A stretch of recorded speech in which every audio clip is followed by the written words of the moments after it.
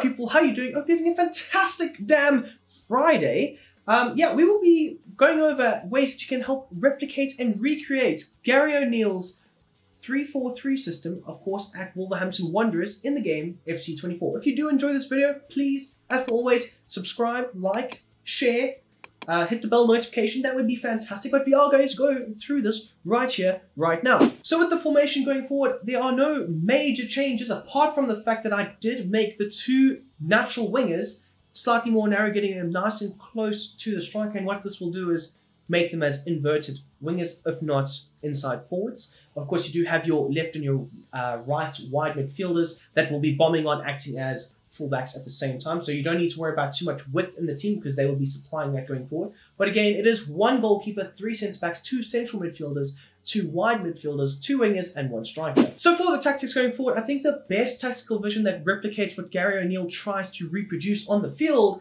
is counter-attack. Now they do have a natural structured formation with the back three and of course two holding midfielders in front of them, but they can look to try and soak up pressure and then hit on the break, spring those um, offensive traps that they do look to try and set in transition with the likes of Neto or Cunha or Hwang Hee-chan or whoever's in your front line, they will look to try and get them out running into the green grass space. That is more times not left um, in behind with the, the, the opposition's defense. So counter-attack is the best opportunity going forward for this team. It's also the most realistic, of course. For the defensive style, I've gone with drop back, and that is a natural fit with the counter-attacking system, making sure that your team is very rigid and structured at the back, making sure that there's no marauding players of your own on, on the defensive side of things out of position, making sure it's very easy for the opposition to try and open up. It's going to be very rigid, very structured, compact at the back, making sure that it's not easy for the opposition to try and play through the lines, to try and whip, to whip balls into the, the box with crosses and trying to score goals. It's going to be very hard for the opposition to try and break down this team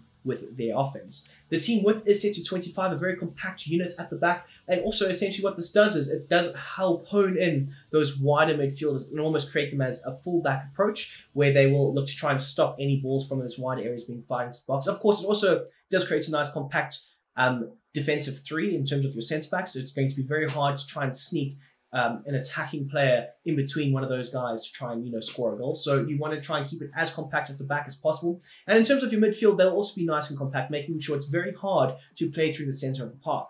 As for the team depth, it is set to 35, and of course, this is a low block, making sure it's very difficult to get those runners in behind and try and sprint counter attacks of your own.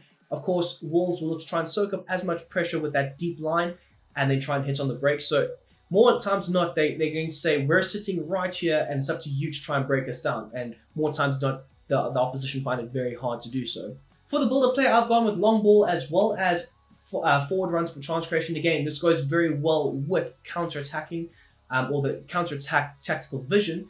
Um, as you want to try and get your, your three forwards in behind the opposition's defense and have that long ball fight into them, either with a, a Max Kilman ball over the top or a Mario Lemina either way that they can, they will try and get those runners in behind. Of course, you can also look to try and counter-attack from corners and free kicks. You are very lethal with that, especially if it's the, uh, the opposition's corner or free kick, of course. Um, you can look to try and quickly transition and attack uh, from back to front. For the width, I've set it to 70, and what this does is it helps get your uh, wing backs slash your, your wide midfielders. They will also be very much involved in the attacking play going forward, and it essentially does fit your, your two wingers as well as your two wide midfielders into the attacking outlets and, and it shapes up quite nicely, you could say, trying to in those balls, supply your forwards with those crosses. So either your winger or your wide midfielder can do that. Um, as for players in the box, I have set it to three, and what this does is, more times than not, your front three will look to try and operate in that attacking third, with your wide midfielders looking to try and supply crosses. But what's so nice and effective with this lineup and this rotation is, they do look to sometimes interchange. So sometimes your fullback will be in the box. Other times it will be your winger in the box. So it does work out quite well. But more times than not, you want at least three players in and around there, as well as three players outside of the area. As for corners and free kicks, as for always, it is set to four. So we'll start off with the instructions for the goalkeeper going forward. I have them set to balance for both instructions. I think it best suits what Jose Sa is. Essentially, you, you don't need him to be a sweeper keeper. You've got you playing a very low block as things stand. So you don't need him running out of his box. You've got three capable ball playing centre backs that will look to more or less try and recover the ball in time. And then as for his saving on crosses, we have seen time and again he can be very capable of collating that aerial ball and making sure that he's alleviating the stress on the background. Or sometimes he just gets caught in the air and he muddles it up more times than not. Um, so that's why I've gone with a balanced approach for it because again he can have games where he's very good and then other times he can have games where uh, an opposition player collides with him, very much like the Newcastle game. And yes, it might be a foul or it might not be a foul. It's a grey area, but more times than not, he should claim that ball and not drop it. Um, so I think a balanced approach does best suits and replicates what he is in real life. Moving on into our back line, we've got the likes of Gomes, Dawson, and Kilman. All of them are set to their base set of instructions. Again, you don't want them doing too much. You don't want them marauding forward. I know sometimes the likes of Gomes does get forward if they are playing their back four system, but more times than not, with this rigid back five slash back three system, you don't really need your centre back stepping out or getting forward and being involved in the build-up play. So moving on into our midfield, we've got the likes of Mario, Lemina, as well as Gomes. They are also very effective box-to-box -box players, but can also be very effective shields for this backline, and they do a very good job nonetheless. So we'll start off with Lemina. He's set to stay back while attacking, as well as stay on the edge of the box, so he can look to try and recycle possession in and around the opposition's half if need be, or he can look to try and, you know, take a shot from distance. Aggressive interceptions set to. This is your engine room. This is your workhorse. Lemina and Gomes are going to work extensively and very hard to try and win that ball back when it is in the center of the park. Cover the wing and then, of course, stick to position. Moving on to Gomes, he's got the same set of instructions as well. Stay back while attacking, stay on the edge of the box. Aggressive interceptions are set to be. Cover the wing and then, of course, stick to position. Moving out wide to Semedo as well as Aït-Nouri, they've got the same set of instructions. So both of them are set to their chance creation being set to balanced, and this does help create a, a, nice tactical dynamic approach where you can either have them wide hugging the touch lines and then whipping in those crosses for your forward line, or potentially have them invert bit more, be a bit more involved in the build-up play more centrally, and also allow them to get into the box for those crosses, interchanging positions at times with your wingers. The support runs, I've set it to get in behind. You want them having that ability to get in behind the opposition's defense, latching onto those long balls that are fired in over the top, and then potentially supplying the forwards with a cross or a cutback opportunity to try and score.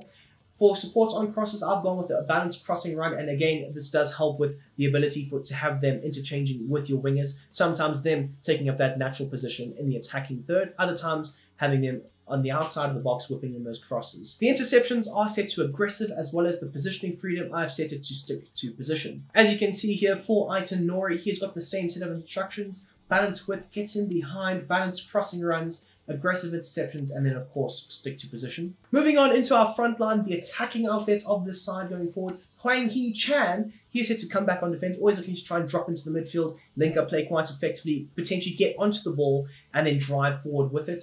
Chance creation I've set to balance, and this does help with the interchange interchanging play with your wide midfielders. Getting him behind is essential for the counter attack. You want him to try and run into that green grass in behind the opposition's defense.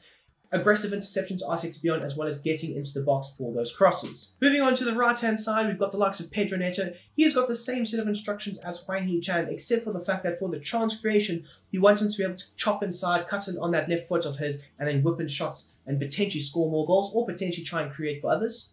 And then finally, we've got our striker, Cunha, and a very different role for him. Not an out-and-out centre forward, you could say. He does like to drop deep, drop into those little pockets of space, collect the ball, get onto the ball quite early, and then drive at the opposition, or potentially vacate that central area to try and open up a bit more space, either for a Hwang Hee Chan or potentially a Neto to try and function in. So, in order to do that, for the support runs, I've gone with a balanced width, so having giving him the ability to either drift into those wider channels or potentially stay a bit more central and latch onto those crosses. His attacking runs, I've set it to false nine. Like I said, he does like to drop off quite effectively, getting onto the ball quite early, quite deep, and then having the ability to turn and run at the opposition's defense. Aggressive interceptions are set to be on your front line, your front three essentially will try and aggressively press the opposition's goalkeeper or their back line and try and win that ball nice and high up the field. But more times than not, if they are bypassed, they will try and look to drop into their shape quite effectively.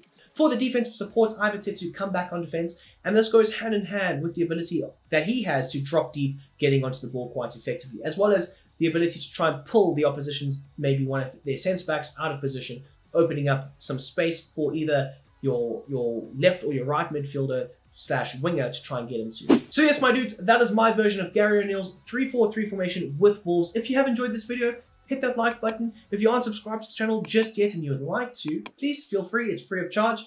And of course, until the next time, I hope you have a damn great day. I'm out.